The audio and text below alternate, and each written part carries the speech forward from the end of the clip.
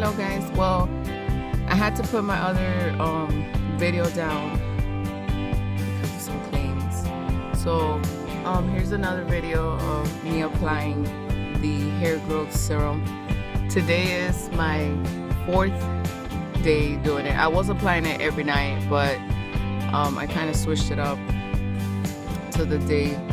Um, and in the video you can see that the oil looks kind of thick you have to really really really really shake. And even if you do shake there's like some little I don't know sandy things on it and that's okay. Um, I heard it was called palmetto something like that or, and, and you know it's, it's mixed with the oil and all that stuff so it's gonna do that. It's, it kind of feels like a scrub pretty much for your, for your scalp. So here's the video of me applying it and everything else.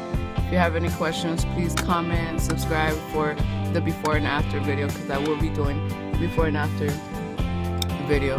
See how beautiful my hair looks afterwards. So thank you guys for watching